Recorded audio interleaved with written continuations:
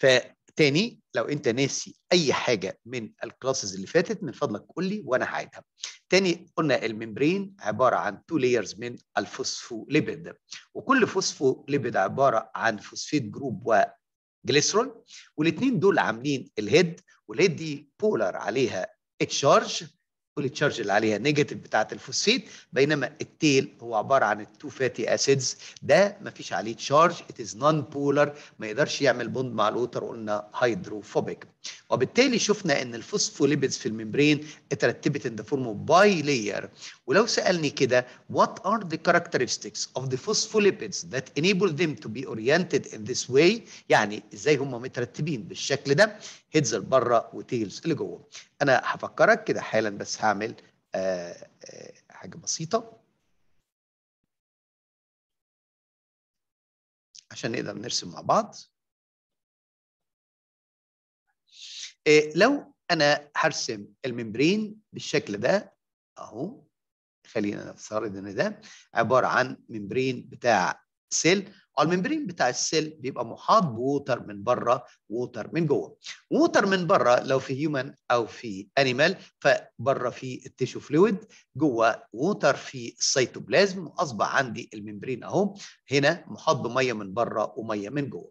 أنا هاخد حتة من ال membrane ده عشان أرسمها بالتفصيل as phospholipid bilayer هلاقي عن ال phospholipids مترتبة في ال membrane ده بالشكل ده. head tail جنبها head and tail جنبها head and tail دول كده عاملين monolayer 1 layer 1 layer هنا قصادهم هيبقى في other layer tail head tail head بالشكل ده. إيه بقى ال characteristics of molecules إيه ال characteristics بتاعت ال phospholipids اللي خلتهم يبقوا oriented مترتبين بالشكل ده؟ ال heads دي being hydrophilic directed لبرة عشان تعمل bond مع ال surrounding water ال heads دي directed to the outside من الناحية الثانية عشان تعمل bond مع ال water اللي داخل ال cell أما ال tails دي non polar مفيش عليها charge hydrophobic و hydro زي ما اتفقنا water و phobic عنده فوبيا يهرب من المية وأصبح كده عبارة عن ال tail ده directed to the inside to be away from water. وما تنساش بقى ال tails بيشدوا بعض بال force اللي اسمها hydrophobic interaction الحاجات ال hydrophobic الحاجات اللي ما بتتحدش مع المية دايما يشدوا بعض. وعايز أفكرك بالمثال بتاع ال hydrophobic interaction اللي أنا قلته قبل كده في ال class اللي فات. قلت لك لو أنت جبت كوباية مية بالشكل ده وكوباية المية دي رحت حاطط عليها شوية oil ال oil lower density وال oil hydrophobic راح اترص على ال water من فوق. لو أنا قلبت المية قلبت ال oil ده جامد مع المية هبص ألاقي ال oil ابتدى ينتشر in the form of droplets بالشكل ده. لكن لو استنيت أقل من دقيقة هتلاقي كل ال droplets دول شدوا بعض وتكونوا layer على السطح. معنى كده الحاجات ال hydrophobic اللي ما بتعملش bond مع ال water دايما بيشدوا بعض بال force اللي اسمها hydrophobic interaction زي ما حصل في ال droplets بتاعة ال oil لما اتجمعت وعملت layer على سطح ال oil. cell membranes ومش cell membrane لأن كل ال membranes بتاعت ال plant ال animal ال human البكتيريا كلهم the same structure. They are formed of phospholipid bilayer. واتفقنا إيه اللي خلى ال phospholipids تبقى oriented in this way is being hydrophilic directed to the outside. Is being hydrophobic directed to the inside. وال tails ال hydrophobic بيشدوا بعض بال hydrophobic اكشن لكن ما تنساش أن ال phospholipids دي مش ثابتة في مكانها. يعني إيه؟ الفوسفوليبيد زي أي molecule في الدنيا. أي molecule في الدنيا بيعمل vibration في movement زي ما أخدت كده في ال science وأخدت فيه ال physics وأخدت فيه ال chemistry أنهم الفرق بين ال liquid وال solid وال gas كلهم بيتحركوا كلهم ال molecules بتاعتهم بتتحرك بس الحركة بتاعت ال solid قليلة الحركة بتاعت ال liquid كتيرة والحركة بتاعت ال gases أقل حاجة. مرة ثانية آه sorry الحركة بتاعت ال gases أعلى حاجة. معنى كده إن أنا بحول solid ل liquid. solid ممكن تحوله liquid مثلا لو عندك حتة بلاستيك solid سخنتها ساحت اتحولت ل liquid إيه اللي حصل؟ أنت اديتها heat energy ال molecules اتحولت فيها ال heat energy ال kinetic energy بدل ما كان solid وال vibrations بتاعته قليلة بقى liquid وال vibration بتاعته أكبر. ثم this membrane اللي هو الفوسفوليبيد بايلير بقول إن هو عنده فلويد نيتشر وحياتكم ما تنسوش الممبرين عنده فلويد نيتشر ومرات لو سالني what I mean by the term fluid nature why the membrane is described as fluid fluid لأنه الفوسفوليبيد molecules they are in continuous motion they are vibrating exchanging position with each other but within their monolayer يعني إيه within their monolayer معناها انه الفوسفوليبيد ده يبدل مع ده لكن ده ما يقدرش يبدل مع ده ادي اول حاجة اللي هي الفوسفوليبيد. أنا عايز أتكلم بقى على ال fluidity ال vibration. إيه رأيك لو كان الفوسفوليبيد عنده ال tails الاثنين كده؟ أهو وال tail اللي جنبه ده برضو straight بالشكل ده يعني ال tails they are saturated. لو أنا حطيت كمان اتنين تانيين بالشكل ده وحطيت فيهم واحد unsaturated أو اتنين unsaturated. ما تنساش ال fatty acid ال unsaturated عامل kink والناحية الثانية ال fatty acid ال unsaturated أهو وعامل kink بالشكل ده. والاثنين دول بيعملوا vibration والاثنين دول بيعملوا vibration ده ال vibration بتاعته هتبقى limited ده ال vibration بتاعته هتبقى عالية. بمعنى إن ده هيبقى less fluidity ده هيبقى more fluidity. ليه ده هيبقى less fluidity عشان ال tails دول شادين بعض بال hydrophobic interaction زي ما انت شايف قريبين من بعض وشادين بعض بال hydrophobic interaction طب ال tails الاثنين دول مهما شدوا بعض ال hydrophobic interaction بتاعهم هيبقى قليل. ليه؟ لأن ده ال kink دي مخليه يبعد عن اللي جنبه فال attraction بينهم قليل وال vibration بينهم عالية. معنى كده لو عندي membrane ال phospholipids بتاعته saturated هيبقى less fluid unsaturated هيبقى more fluid طب يبقى أول factor أثر في ال fluidity هو هل ال tails دي are saturated ولا unsaturated saturated هتبقى straight بالشكل ده و attraction عالية فبالتالي ال vibration هيبقى قليل وال membrane هيبقى less fluid لكن لو ال membrane في unsaturated عاملين kink بالشكل ده attraction قليل vibrations أعلى. so membrane نمبر 1 more fluid عن membrane نمبر 2 طب تعالى ناخد كمان factor أدي عندي فوسفوليبيد أهو بالشكل ده و saturated أهو. وأدي فوسفوليبيد زيه أهو و saturated طيب تعال نشوف كمان. هاخد other phospholipids اهو أدي بتاعت membrane آخر. أدي فوسفوليبيد بتاعت membrane آخر اهو أهو بالشكل ده. طبعا ده عنده fluid nature يعني vibrating وده كمان عنده fluidity vibrating مين هيبقى ال fluidity بتاعته أو ال vibration بتاعته أكتر؟ ده ال vibration بتاعته أكتر. ليه؟ ال tail قصير وال attraction هيبقى بينهم قليل. معنى كده إن هيبقى عندهم فرصة vibration أو فرصة حركة. كل ما يكون ال tail أطول ال attraction بين ال tails أكتر ال vibrations أو ال fluidity هتبقى أقل. معنى كده ال fluidity بتاعة ال membrane يعني ال phospholipids are vibrating هيتحكم فيها many factors ال length of the hydrocarbon chain بتاعة ال fatty acid وهل ال fatty acid ده كان saturated ولا unsaturated. If it is unsaturated وعامل kink attraction أقل vibration أعلى. أتمنى لغاية دلوقتي تكون الدنيا واضحة. لو حد عايز يعيد فيها أي حاجة يا جماعة من فضلكم قولوا أنا هفتح قدامك كمان ال note وخلينا آه نتكلم عليها واحدة واحدة. أنا حالا هجيب ال note قدامك عشان وأنت بتذاكر ما يكونش عندك أي مشاكل. برضو يا جماعة عايزك تفتكر إنه ما فيش حاجة اسمها chapter خلص أي chapter عايز تعيده في أي وقت تاني أي chapter عايز تعيده في أي وقت ممكن نقدر نزود أي classes afternoon أو whatever بحيث إن إحنا نقدر نعيد اللي أنتوا عايزينه. تعال نشوف كده الكلام ده أهو في ال membrane وكده إحنا في ال chapter number 4 يعني إحنا كده قربنا من 50% من ال course. أدي كلامنا كان عن ال cell membrane قلنا إن ال cell membrane ال thickness بتاعته تتراوح ما بين 5 ل 10 نانومتر ومعنى إنه بالنانومتر يعني ما أقدرش أشوفه بال light microscope أي membrane ما أقدرش أشوفه غير بال electron microscope لأنه ال thickness بتاعته صغيرة قوي. وبالتالي ال light microscope عنده poor resolution لكن electron microscope عنده high resolution يبقى كده أنا ما أقدرش أشوف أي membranes غير using electron microscope أنا ما أقدرش أشوف ال membrane بتاع cell plant cell أو animal cell ما أقدرش اشوفه برضو هتقول لي لأ ده إحنا كنا في ال O level كنا بنرسم كده ونقول على ده cell membrane الحقيقة إحنا ما شفناش ال cell membrane أمال إيه ده؟ ده ال outer edge بتاع السيتوبلازم أنا ما بشوفش بال light microscope ال cell membrane ليه؟ لأنه ال resolution بتاعت ال light microscope قليلة ما يقدرش يوريني membrane يقدر ال light microscope يوريني chloroplast لكن ما يقدرش يوريني ال grana وال grana lamella light microscope يقدر يوريني ميتوكوندريا لكن ما أقدرش أشوف ال crista بتاعتها. remember that light microscope لأنه عنده poor resolution ما يقدرش يوريني ابدا أي membranes لا membranes في ال chloroplast ولا membrane في الميتوكوندريا ولا cell surface membrane okay يا جماعة؟ تعالى كمان نمشي خطوة وأنا همشي معاك step by step كده ال thickness لازم أكون عارفها ولازم أكون أعرف دلالة ال thickness ده إن هو ما بقدرش أشوفه ابدا using light microscope. Light microscope عنده low resolution.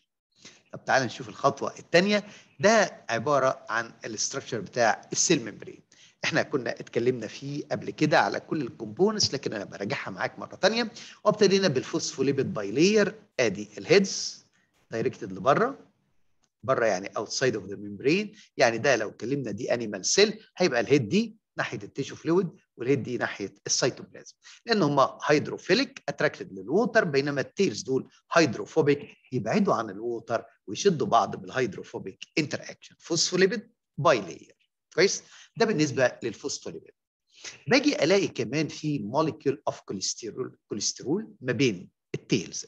الكوليسترول ده اللي هو الكوليسترول بيبقى بين ال tails وموجود في ال animal cell لكن مش موجود في ال plant cell الكوليسترول ده its function is to regulate fluidity. يعني إيه regulate fluidity. لو درجة الحرارة عليت فال vibration هتعلى قوي. ولو ال vibration عليت قوي ال membrane هيفك من بعضه. الكوليسترول هيشد ال tails دي ويخليها ماسكة ببعضها to avoid ال high fluidity اللي ممكن تقطع ال membrane. طب تعالى نشوف كده عمل ده إزاي. الأول عايز افكرك ان الكوليسترول مرات يسألني يقول لي how cholesterol is how cholesterol is fixed in the membrane أو how cholesterol is held in the membrane بص ده ال molecule بتاع الكوليسترول أهو. ده ال molecule بتاع الكوليسترول. شايف كده؟ عامل kink أهي. وهنا عنده head وعنده tail ال tail بتاعه فيه kink. طيب أول سؤال لما يجي يسألني how cholesterol is held in the membrane هقول له إن هو عنده hydrophilic head directed to the outside تعمل bond مع ال water عنده hydrophobic tail directed to the inside وتشد ال tails بتاعت ال phospholipid بال hydrophobic interaction مرة ثانية how cholesterol becomes able to be held in the membrane it has hydrophilic head directed to the outside يعمل bond مع ال surrounding water it has hydrophobic tail directed to the inside to be away from water ويشد ال tails بال hydrophobic interaction. طيب تعالى نرجع بقى للكوليسترول يعني إيه regulate fluidity لو درجة الحرارة عليت وال vibration عليت وال membrane هيفك من بعضه ال tails دي شده ال tails دي فهي هتتحكم في ال vibration ما تخلوش too fluid ما تخليش ال vibration سريعة قوي. طيب لو الجو برد قوي ودرجة الحرارة قليلة وال vibration قل قوي وال membrane هيبقى إلى حد ما somewhat solid. برضو مش هينفع. ليه بقى؟ ال tail بال kink بتاعته المعوجة بيمنع ال tail ده وال tail ده من هما يشدوا بعض وبالتالي بيحتفظ ال membrane بال fluidity attraction أقل فبالتالي vibration أعلى. يبقى كده لو سألني عن الكوليسترول في ال cell membrane. its main function ودايما لما يقول لك one function تختار ال main function regulates fluidity لكن هو كمان بيتحكم في حركة المية. المية ما تعديش في ال membrane بسهولة. control leakage of water وكمان regulates fluidity وإزاي يثبت نفسه في ال membrane أقولهم لك مرة ثانية الكوليسترول how cholesterol becomes able to be held in the membrane? It's being hydrophilic directed to the outside. تعمل bond مع surrounding water. It is being hydrophobic directed to the inside to be away from water ويشدوا بعض بال hydrophobic interaction. Right? تعال نشوف الخطوة اللي بعدها.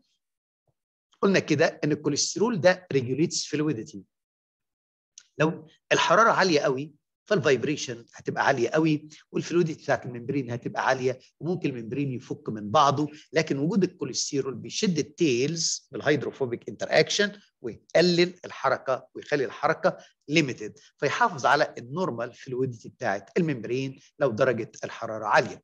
لو درجة الحرارة قليلة وال vibrations هتبقى قليلة وال phospholipids هتبقى لازقة ببعض قوي وال membrane هيبقى rigid ناشف لا يقدر يعمل endocytosis ولا هو phagocyte يقدر يعمل engulfing لل membrane ناشف. طيب إيه دور الكوليسترول؟ الكوليسترول دوره هنا إن هو هيمنع ال tails من هم يشدوا بعض. شايف هو عنده ال kink دي؟ مخليه ال tail ده وال tail ده مش قادرين يقربوا من بعض فال membrane يفضل بال fluidity بتاعته وده الكوليسترول regulates fluidity. ده اتكلمنا على الفوسفوليبيد اتكلمنا على ال fluidity وإيه علاقة الكوليسترول بال fluidity واتكلمنا كمان على علاقة ال phospholipid بال fluidity. لو حد يا جماعة عايز يعيد أي حاجة في الخطوة دي اهو هقدمهم قدامك. اسأل زي ما انت عايز وأنا معاك step by step اهو. خد بالك إحنا ما اتكلمناش في ال membrane عن باقي الحاجات لسه هنتكلم على بروتين ولسه هنتكلم على glycoproteins و glycolipid اللي اتكلمنا عليهم كانوا عبارة عن الفوسفوليبيد والكوليسترول طبعا الباقيين كنا شرحناهم قبل كده بس أنا عايزك تعيد أي حاجة آه تركز فيها. عايز تعيد أي حاجة من فضلك قول أنا منتظر لو حد يا جماعة عنده أي نقطة مش واضحة في حاجتين. اللي هو phospholipid bilayer والكوليسترول ما تنساش الجزئية دي وبرده قدامك أي حاجة عايز تعيدها. آه السؤال ده جه كذا مرة في paper 1 طب أرجع بس حد بيسأل على حاجة؟ تمام يا عبد الرحمن تمام. أشكرك يا عبد الرحمن. طيب بصوا يا جماعة هنا ال phospholipid ال phospholipid السؤال ده جه مرتين في paper 1 بس أنا عايز اللي هو اللي جه كان ده لكن دي احتمال برضو ممكن يجيبها بعد كده. إيه الفرق بين ده وبين ده؟ قال لي لو أنا كده جبت مية وحطيت عليها oil ال oil مش هيبقى bilayer هيبقى زي ما أنت شايف كده 1 layer ليه 1 layer مية يبقى ال heads بتمسك فيها وال tails بعيد عنها مش محتاجة تبقى bilayer تمام؟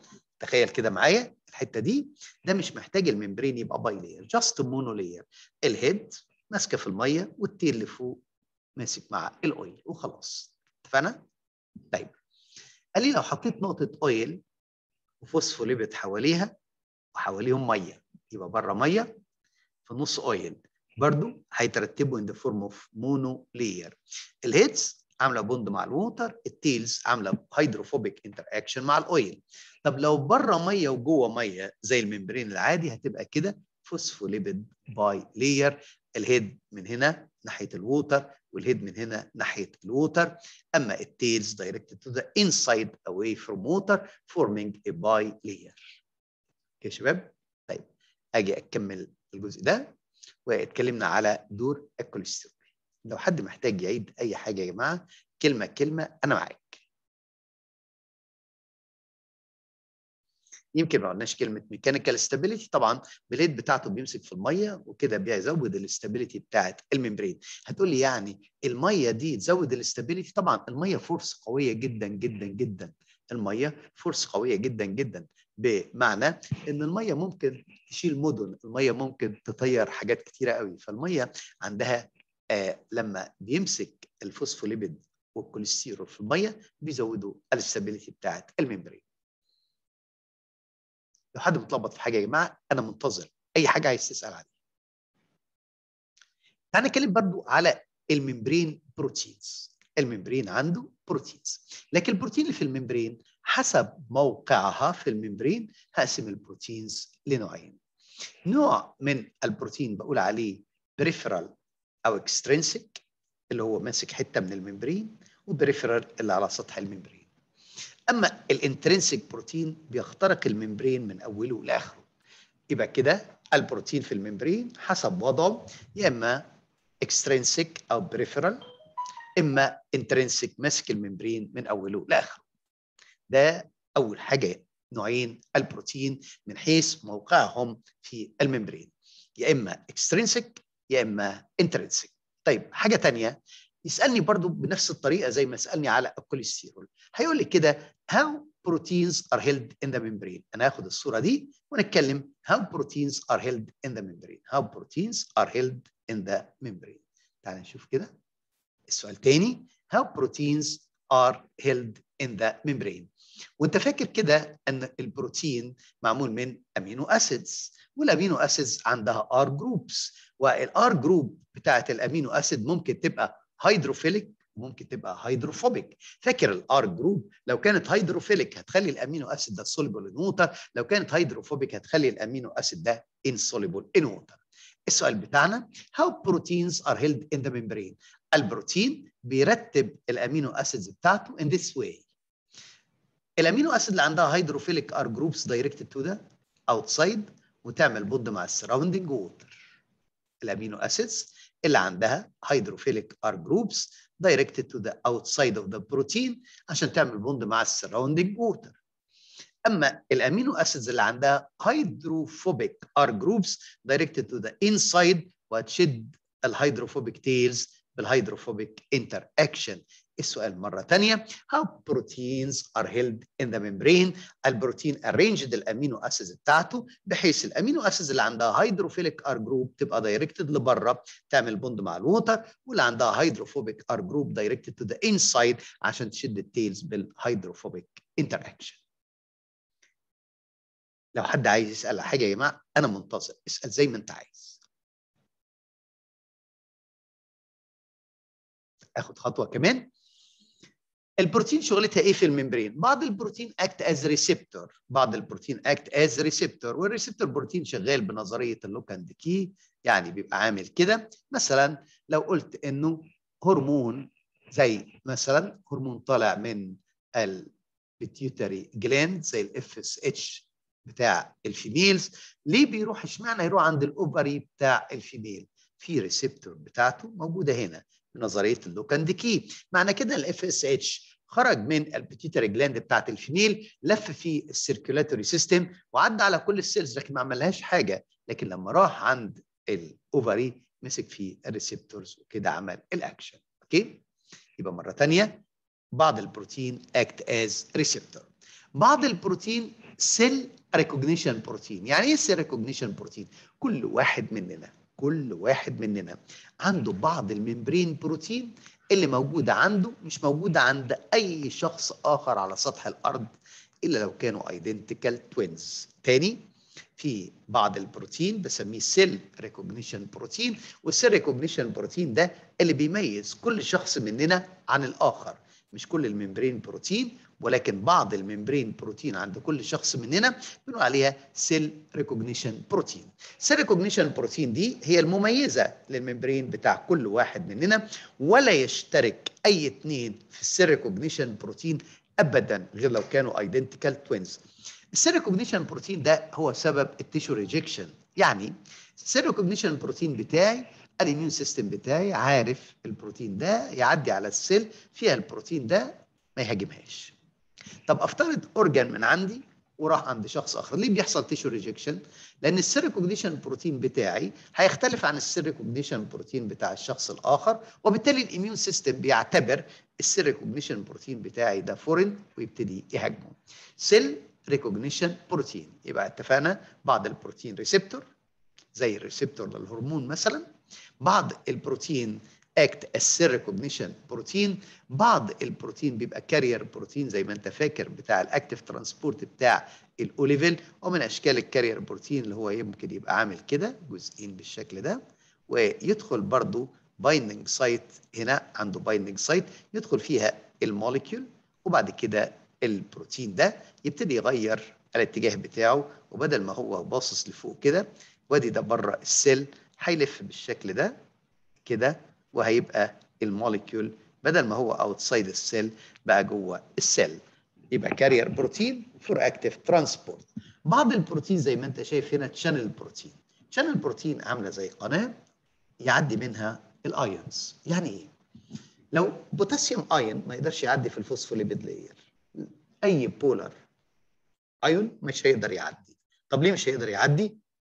هو عليه charge وال tail ده non-polar فبالتالي ال ions مش هتقدر تعدي في ال phospholipid bilayer عشان كده بتقدر تعدي إزاي؟ إزاي ممكن sodium ion و potassium ion ممكن يخرجوا من ال blood ويدخلوا جوه ال cells بتاعتنا عشان nerve impulses مثلا أو ممكن في ال root hair cell بعض ال ions من ال soil تدخل جوه ال root hair cell. إزاي بتعدي ال membrane؟ إذا كانت هي ما تقدرش تعدي في ال phospholipid bilayer لكن هتقدر تعدي في ال channel protein افتكر ال channel protein specific channel protein زي ما قلنا قبل كده أهي عاملة كده مثلا وعندها زي tube كده من جوه أهي مفتوحة عشان تعدي ايون معين. يعني مثلا لو دي channel protein للصوديوم ما يقدرش يعدي من هنا غير الصوديوم ايون اتفقنا؟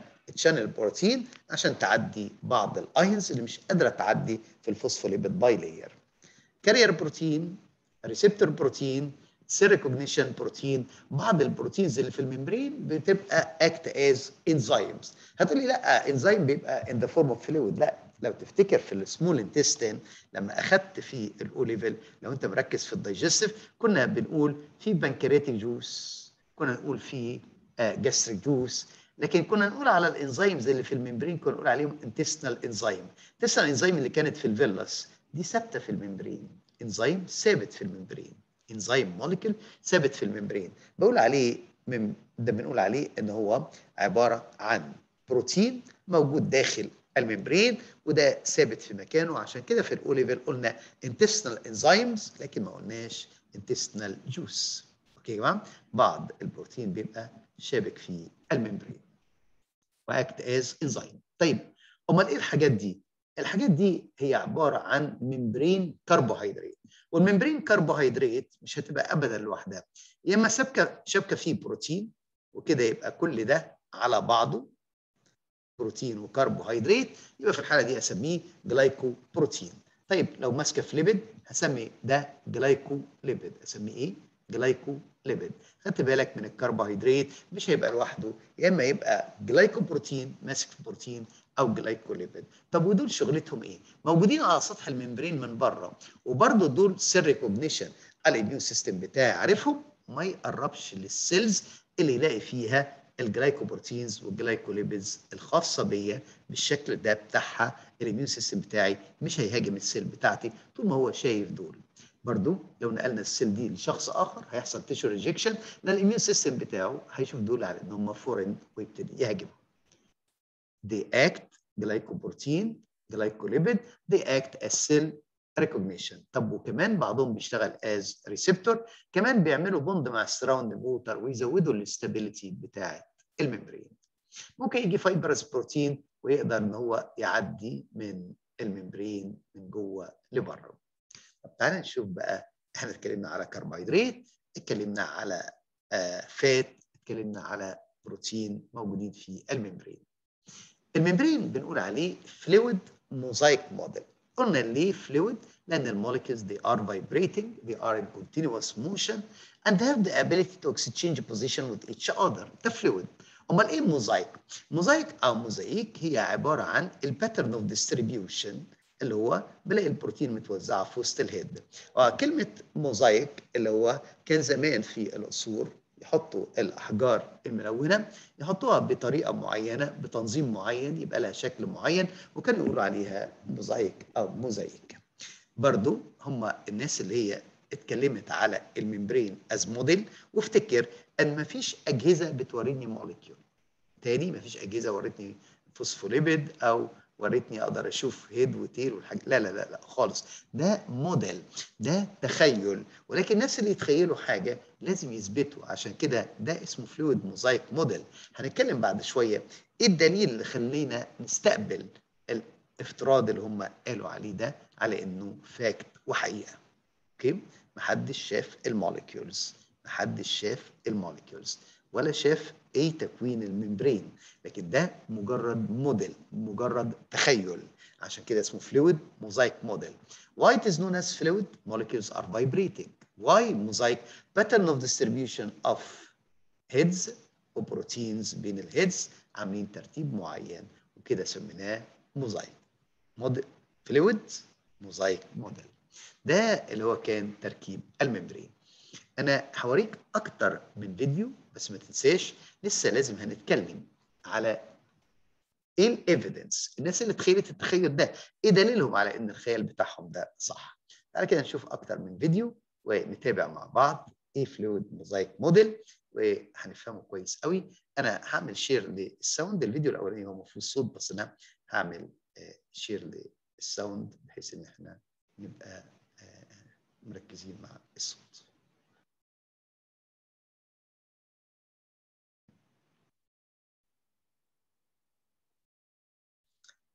ده الفيديو الأولاني زي ما قلت لكم في الصوت لكن أنا معاك كده نشرح خطوة خطوة. هنا أنت شايف ال phospholipids دي are vibrating وده fluid nature وكل فوسفوليبيد عبارة عن head و tail. وال heads directed outside وال tails directed inside بيوريك كده إن ال ions ما تقدرش تعدي ففي في ال membrane في بروتين اسمها channel protein تعدي ال ions. but they are specific. البعض يعدي صوديوم بس البعض يعدي بوتاسيوم بس and so on. وده بيوريني كمان ال carrier protein ال carrier protein اللي هو ممكن يجمع ions ويبتدي يعمل active transport using energy ويبتدي ينقل against concentration gradient okay ما تنساش carrier protein طيب مش عليكم اسم sodium potassium pump اللي خدوا ال A2 طبعا يعرفوا. آه ده برضو أشكال من ال carrier proteins أهي أهي بيغير ال shape بتاعه بدل ما هو يتحرك بيغير ال shape بتاعه عشان ينقل ال ions افتكر ال ions ما بتقدرش تعدي في ال phospholipid bilayer بعض البروتين act as receptor يمسك في هرمون معين يمسك في رسالة معينة. ده receptor protein receptor protein okay يا جماعة؟ برضو هنشوف حاجة ثانية من البروتين. okay؟ ده receptor protein ما تنساش برضو إن بعض البروتين cell recognition ما تنساش بعض البروتين كده acted channel carrier protein وادي ال membrane vibrating عشان كده بقول عليه فوسفوليبيد باي لير بينهم هيبقى فيه كوليسترول that regulates fluidity وما تنساش الكوليسترول عنده head وعنده tail برضو زي الفوسفوليبيد الكربوهيدرات بتبقى موجودة على السطح الخارجي بس بتاع ال membrane وبيبقى يا إما شبكة بروتين تعمل glycoprotein أو شبكة ف lipid تعمل glycolipid and it is for cell recognition. أنا هتنقل معاك لخطوة تانية وهنشوف other uh, videos. الفيديو اللي جاي ده هيساعدنا كده في التخيل كويس أوي. Between the living machinery of the inner cell and the harsh conditions of the outside world stands the cell's plasma membrane. As crucial as this barrier is, it's surprisingly flexible. Push it and watch it move. Poke hard enough and it might break and begin to regroup. The lipid زي ما انت شايف كده الهيد والتيل وهو الممبرين الفلويدتي بتاعته مدياله ميزه انه ممكن يبتدي يغير الوضع بتاعه and can reseal itself يلحم نفسه مرة ثانية فمثلا لو افترضت إن في سي مثلا عندي phagocyte فال phagocyte لما جت تبلع بكتيريا بص عملت إزاي أدي ال phagocyte أهي جت تبلع بكتيريا ال membrane عنده fluidity بقى الشكل ده وبعد كده بلع البكتيريا أخذ البكتيريا جوه in vesicle طب عشان ال vesicle دي تنفصل كان ال membrane هنا لسه مفتوح مش أنت فصلتها؟ الحته دي مفتوحه لكن قدر to attract itself ال tails تشد بعضها وكده كان reseal itself يقدر يلحم نفسه مره ثانية فوسفوليبيد ما تنساش تقدر تتحرك وبعدين ترجع في وضعها الطبيعي مره molecules of the membrane naturally assemble in a double layer because their tails repel water as their heads attract it. Throw in some cholesterol and a few carbohydrates and you have the basic structure of a plasma membrane. Within these lipid molecules, we also find different proteins which do various things for the cell.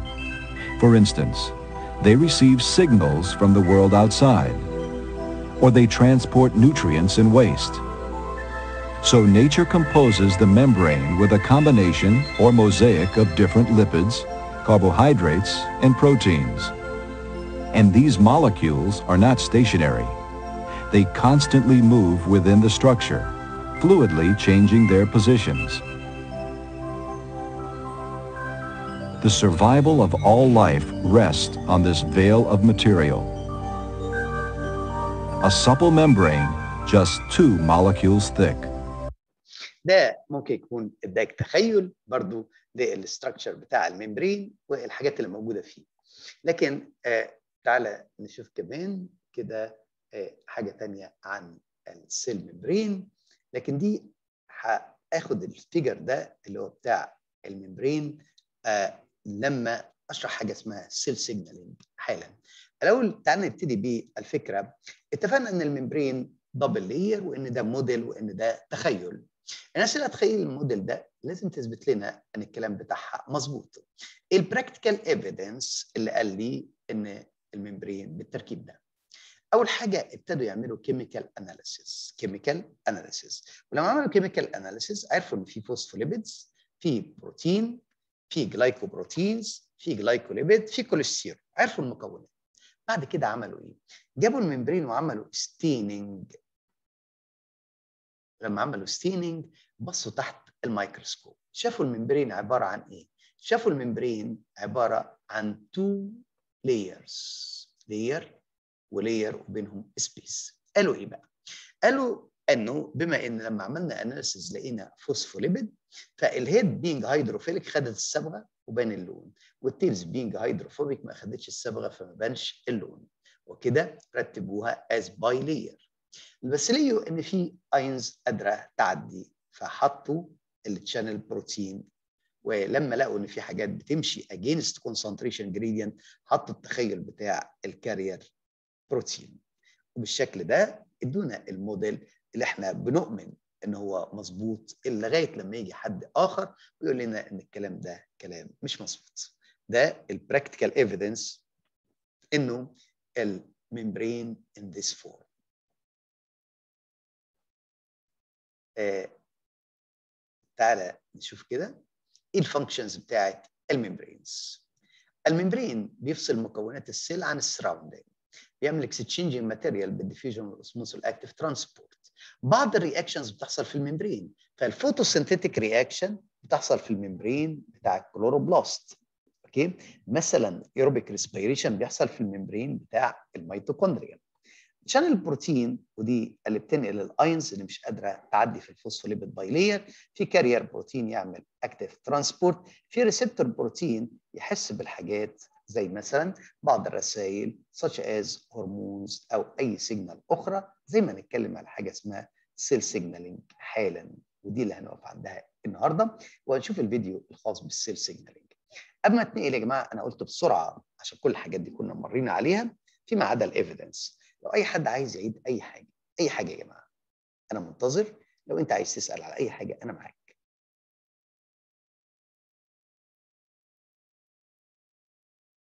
في حد باعت سؤال؟ تمام.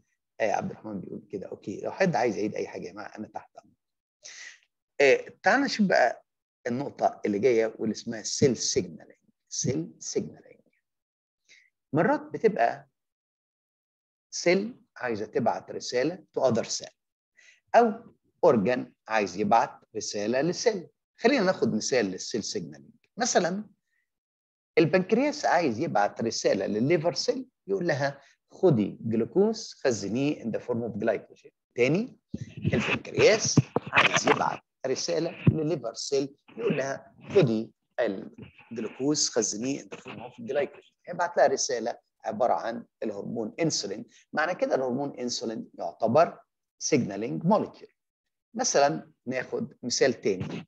لو عايزين نقول ال ovary يعمل ovulation بتبتدي ال pituitary gland تبعت LH هرمون نتج ovulation يبقى في الحالة دي هنسمي ده signal signaling أو cell signaling عايز أبعت رسالة from one cell to other cell from one organ to other organ. مش هنسى ده اسمه cell signaling عشان يحصل ال cell signaling ركز معايا ال main دول ال steps دول في ال syllabus 22 طالبهم بالتحديد. عشان كده إحنا عايزين نحفظهم كويس قوي ال stage الأولى هيبتدي يحصل secretion of specific chemical ligands from cells. زي مثلا الانسولين اللي طلع من البنكرياس هيتنقل ل target cell في المثال بتاعنا راح للل liver cell هيروح الانسولين ده اللي هو المثال بتاعنا في ال signaling molecule راح عمل binding مع receptors على ال liver cell ونتيجة ان هو عمل binding هيبتدي يحصل response okay يا جماعة؟ دول الثلاث خطوات. مرة ثانية secretion of specific chemical ligand ده هيخرج من cell اللي عايزه تبعت رسالة ل cell ثانية في المثال اللي قلناه. البنكرياس عايز يبعت رسالة للل liver يقول له خزن جلوكوز in the form of glycogen فبالتالي هيبقى ال ligand بتاعنا هو الانسولين. انسولين راح على ال liver cell ده ال target بتاعه. وبعد كده في الحالة دي اتنقل اشمعنى مسك في ال cell دي؟ عشان ال cell دي عليها receptor بعد كده هيبتدي يحصل response تعال ناخد كده ال signaling molecule بجمل ثانية نفس الكلام ألف. برضو هيبتدي يحصل change في ال surrounding environment في المثال بتاعنا السكر عالي. راح ال cells بتاعت البنكرياس as receptor حست إن السكر عالي. راحت ابتدت تطلع ال ligand اللي هو عبارة عن الانسولين. الانسولين اللي طلعته هيروح على ال target cell اللي هي هتبقى عبارة عن ال liver cell في المثال بتاعنا. ينتج من كده response هنقسم ال signaling molecules لنوعين نوع من ال signaling molecule hydrophobic ما بيدوبش في المية. ونوع hydrophilic بيدوب في المية. طيب هيحصل إيه بقى؟ ركز معايا قوي. أنا باعت رسالة من cell والرسالة اللي جاية من ال cell دي fat soluble fat soluble يعني تقدر تعدي في ال phospholipid bilayer أدي ال cell بتاعتي وأدي ال signaling molecule اللي هو hydrophobic وجه ال signaling molecule هيقدر يعدي في ال membrane لأنه hydrophobic يقدر يعدي في ال hydrophobic tails ويوصل لل target بتاعه جوه ال cell ولتكن الرسالة دي جاية تقول لل cell اعملي division يعني لازم تروح لل nucleus فالرسالة دي جت وعدت ال phospholipid bilayer لأنها الرسالة دي كانت hydrophobic فقدرت تعدي في ال phospholipid bilayer وصلت عند ال nucleus ادت ال order عشان ال cell for example تعمل division معنى كده أنه ال hydrophobic signaling molecule يقدر يعدي ال membrane directly ويوصل لل target بتاعه جوه ال cell طب أمال لو كان ده ال signaling molecule ده كان hydrophilic يعني water soluble ما دام هو water soluble يبقى كده مش هيقدر يعدي في ال phospholipid bilayer ما دام مش هيقدر يعدي في ال phospholipid bilayer هيمسك على سطح ال membrane في receptor يبقى ال receptor ده هيمسك ال water soluble molecule تاني ال signaling molecule اللي جاي لل cell دي water soluble فمش قادر يعدي ويدخل جوه ال cell ولأنه مش قادر يعدي يدخل جوه ال cell فبتمسكه receptors على سطح ال cell ال receptor دي بتمسك فيه protein وال protein اسمه G protein مش عليا عنه أي تفاصيل حتى في ال A2 بياخدوه outline جدا كمان مش بنقول عليه تفاصيل. خد بالك اسمه G protein يبقى تاني عندي ده ال receptor ده ال molecule ال signaling molecule اللي هو water soluble مسك فيه ال receptor نتج من كده إنه عمل activation ل protein ما تنساش اسمه G protein G protein G protein عشان في حاجة اسمها جوانين فبنسميه G protein يعني اللي خدوا AS قبل كده ولسه بقى هناخد مع ال DNA هنعرف الجوانين والحاجات دي كلها. okay؟ G protein طيب ال G protein ده لما يبقى active يبقى تاني ال signaling molecule water soluble مسك في ال receptor مسك في ال G protein أو ما مسك في ال G protein هيحصل إيه؟ أو ما يمسك في ال G protein هيبتدي ال G protein يبقى active يروح عامل activation ل certain enzyme مش عليا برضو اسمه. And this active enzyme هيبتدي يعمل إيه؟ هيبتدي يعمل activation to other enzymes. وال enzymes دي هتبتدي تعمل خد بالك من الكلمة cascade of reaction شلال من ال reaction reactions كتيرة قوي شلال من ال reactions تنتهي ال reactions دي ب response يبقى مرة ثانية لو fat soluble molecule عدى وخلاص وصل لل target بتاعه أما لو هو water soluble مسك في ال receptors لما مسك في ال receptors نشط ال G protein لما نشط ال G protein ال G protein هينشط enzyme وال enzyme ده هيعمل لي secondary messenger كده وهينتج من كده مجموعة من ال reactions بنسميها cascade of reaction ينتج من بعدها ال response عشان نقدر نقرب كريم اتفضل يا كريم. دكتور معلش بس أنا عندي سؤال. هو ليه يعني ليه الحاجة ال hydrophilic لازم الأول تلزق في ال receptor وتعمل كل ال reactions دي؟ ما دام هي ممكن تعدي من ال... من ال carrier أو من اللي هي ال... ال protein carrier. protein ولا channel protein تاني ملهاش أصلا. ال signaling molecule ملهاش. ال channel protein دي خاصة ب certain ions ما تعملش molecule كبير. عندنا sodium channel potassium channel calcium channel لكن ما بتعديش large particle ده مثلا لو ده هرمون هو large particle large particle ما يقدرش يعدي. عشان كده okay. تمام. ملهوش channel protein ولا ليه carrier protein تمام؟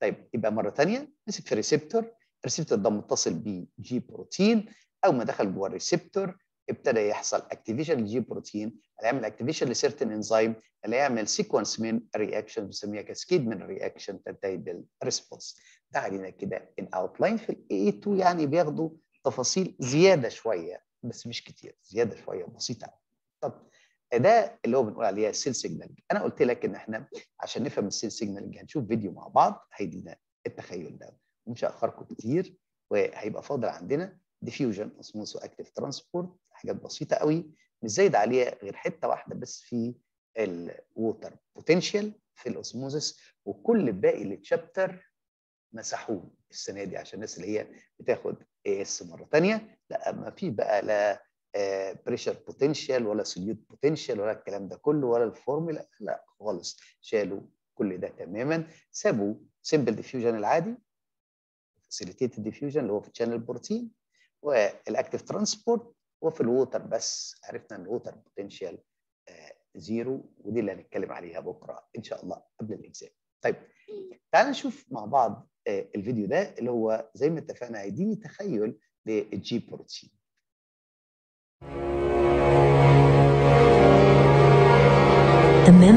معلش هو عامل كده زي فيلم رعب بس هركز فيه كده شوية.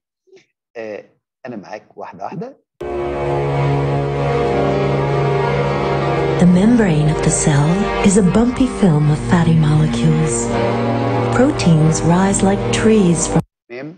شايف طبعا ده ال heads بتاعت الفوسفوليبيد ده ال heads بتاعت الفوسفوليبيد وفي طبعا بروتين وادي دي ال carbohydrate part. ال carbohydrate part ده اللي هو يا اما شابك في بروتين يعمل glycoprotein أو شابك في lipid يعمل glycolipid وده act as receptor أو cell recognition وده بيبقى على السطح الخارجي بس بتاع ال membrane this oily layer to pump and channel minerals and nutrients through the membrane. Other proteins use their branches to trap hormones that بعضهم هيمسك هرمون يعني hormone receptor activate the cell. Some hormones are small enough to slip through the membrane to instruct the cell to move, grow, divide, or even die. اللي انت شفته ده hydrophobic hydrophobic signaling molecule وليكن hormone وال hormone ده hydrophobic يعني مش water soluble قدر يعدي في ال phospholipid bilayer بسهولة ويوصل لل target بتاعه جوه ال cell ويعمل ال effect أرجعها لك الحتة دي مرة ثانية أهو. Or even die.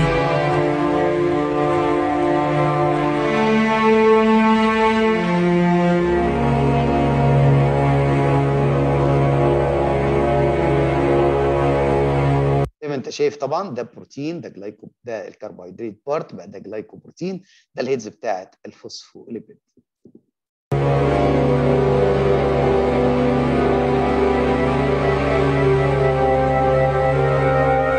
بالك اللي جاي ده بقى water soluble signaling molecule لأن water soluble signaling molecule مش هيقدر يعدي في الفوسفوليبيد لكن هيستقبله هنا receptor خلي بالك ركز قوي. تاني ده water soluble hydrophilic مش هيقدر يعدي في ال tails. عشان كده على سطح ال membrane ليه protein receptor هيمسك في ال protein receptor هينشط ما تنساش G protein أهي. Larger hormones dock at the protein receptors.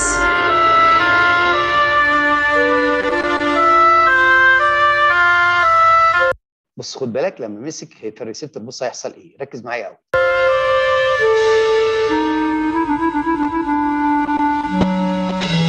هيعمل activation لده اللي هو مين؟ ال G protein. okay؟ يبقى كده مسك في ال receptor حصل change في ال receptor نتج منها إن هو يعمل activation لل G protein اللي هيبتدي يعمل activation ل certain enzyme ويحصل sequence من ال reaction ينتج منه. The receptors send messenger molecules to the enzymes and organelles crowding ده هيجي من ال G protein ده. okay the cell. تمام؟ خد بالك كده إزاي؟ ممكن signaling molecule يا إما يبقى hydrophilic يا إما يبقى hydrophobic okay؟ ده كان الجزء وفاضل لنا بس إن شاء الله بكرة هنتكلم على ال diffusion وهنقسمه ل simple diffusion و facilitated diffusion هنتكلم على ال active transport وال osmosis اللي هو هيبقى كلام كتير repeated وما تنساش إن هو في ال syllabus اللي قبل كده كان في تفاصيل كتيرة في ال osmosis كلها كلها كلها اتلمت. ما عدا حتة واحدة حتة بسيطة قوي عن ال water potential لكن كل الدوشة اللي كانت في الجزء ده كلها اتلغت في 2022 okay؟ وأنا بعت لك ال syllabus عشان ممكن تقرأ في كتب تانية أو تسمع من حد تاني قال بعض التفاصيل. ارجع لل syllabus 22 لأن لسه أغلب الناس الكتب بتاعتها هي الكتب القديمة وبعض الناس لسه مش عارفة إنه حصل بعض ال changes أتمنى لكم كل خير وربنا يوفقكم وأشوفكم إن شاء الله بكرة في الاكزام بإذن الله. وبرضه هنكون